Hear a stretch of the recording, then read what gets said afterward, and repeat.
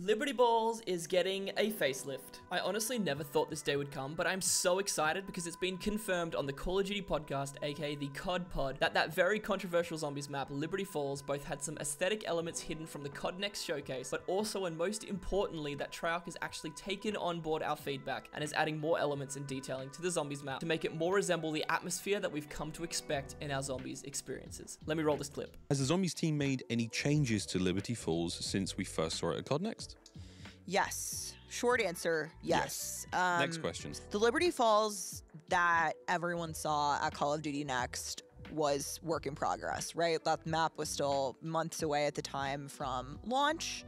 And so the Zombies team has continued to iterate on Liberty Falls um, since then.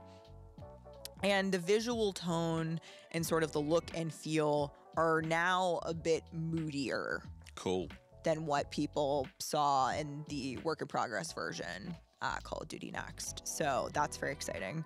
And um, there are some atmospheric elements that people did not see at Next because at the time we had the main quest and the Easter eggs disabled for broadcast. No you know, we didn't want to spoil it. No spoilies. And so I think um, there's a lot that people haven't seen in terms of those elements um, and something to look forward to for launch. Now, this is honestly a really big deal, and it's shown us that for what feels like the first time in forever, Treyarch is actually listening to feedback and implementing that feedback that they're taking from the community. I don't want to be too overdramatic here, but this has genuinely taken my hype levels for Black Ops 6 Zombies from a solid 3 out of 10 all the way back up to an 8 out of 10, just like it was back when we got our first look at the map terminus. This news could very much be the confirmation we all needed that COD Zombies is truly getting the treatment it deserves this year. The fact that number one, they actually listened, and number two, they were also approved to make changes by the higher ups, this really does mean we have power again as fans and players. For too long, it's felt like we were screaming at a brick wall saying, please fix our beloved mode, and would hear nothing back. But now, it really does feel like things are starting to look up.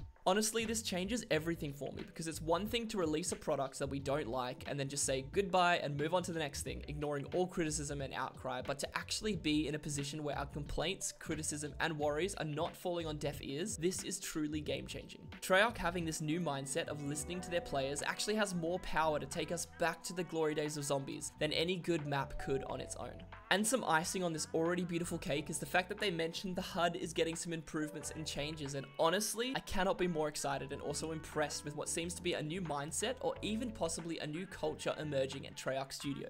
A few of the HUD elements and zombies are also getting touched up, um, which we'll be able to share a little bit more about as we get closer to launch. So make sure you look out for the upcoming COD blogs um, from the Call of Duty crew and the Zombies team to uh, learn a little bit more. The entire focus of the team to develop round-based experiences for this game, as in only RBZ. Yes.